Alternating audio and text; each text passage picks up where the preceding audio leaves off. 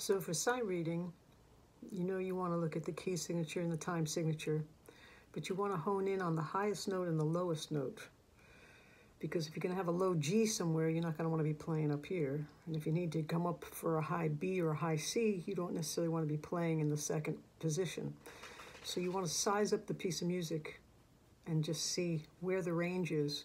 Most of the time they want you to read in the middle of the neck. And you can play in 12 keys in every fret. That's what makes guitar so wild. You know, I mean, if you think of that E in the top space of the uh, staff, it's on every single string. so again, it does sound like, so where should I read it? You read it where most of the notes are. And the other thing that helps you decide the, the position is where is a major scale if you're in a major key what major scale pattern do you know that has most of those notes in it most of that range so that helps you decide what position to be in because if you know it's in the key of C you can play it in second position you can play it in third position it's wherever you know a pattern that actually uh, feels familiar to you so that you could keep your eyes on the music and not necessarily worry about where all the notes are. These, of course, are prepared, so all you have to do is learn them. When you spend time with them, you'll start to see that it reads better here or reads better there. If it feels awkward and you're stretching in weird places, just try it someplace else. Um, we can go over them again, or for the first time, I should say, uh, next week. But um, see what you can come up with. It's based on the key it's in, and it's based on what feels comfortable to you to reach all those notes, to be able to play it correctly. And you want to know the chord shapes. You want to be able to make those progressions sound like a song. And it's a lot easier than you think. Uh, it gets very addictive, like playing a video game or driving a car. It's the same hand-eye mind coordination. So reading can be a lot of fun. If you can find a reading buddy that would be the best thing. Or just tape the chords for yourself and then sight read the melody, you know. The main difference is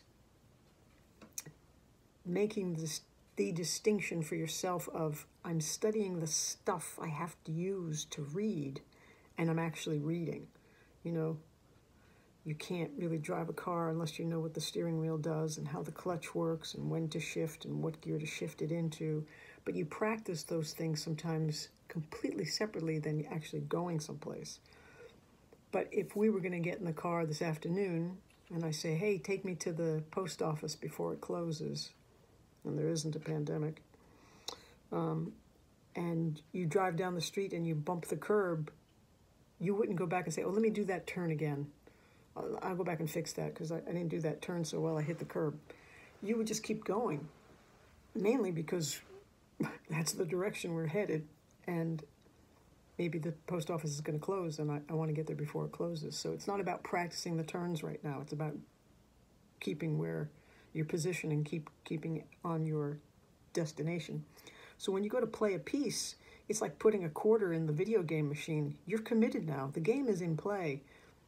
You have to teach yourself how to keep going. And that means don't let yourself stop. Don't go back and fix anything if you stop playing, imagine that the beat's still going and try to imagine where it would be if you were playing with other people and learn how to recover the fumble.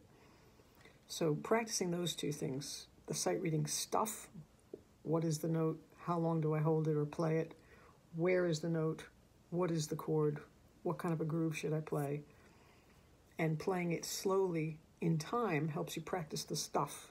And then when you actually want to play it even for the first time, once you've sized up a piece of music, you can play it uh, by just putting on a metronome or a drum groove and saying, well, I'm just going to start this piece and see what happens.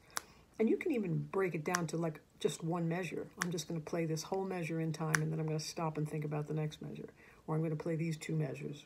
Or I'm going to play these three bars or this whole line. Just not going to stop. I don't care how much I mess up, I'm just going to keep going and stay with that metronome. And when you do that, you can see the percentage of how much you've got right, like getting points, and how much you missed. And that's good because you can always know where your reading is at. And you can always up the tempo, you can always change the key or read stuff in higher, harder keys in between those scale patterns that you already know. and you can read things up an octave. There's lots of ways to challenge it and make it uh, a little harder. But you know, right now, make it as super easy as you can, and um, just be able to play those three examples, chords and melody separately, and um, we'll just pick one of each for the test in two weeks.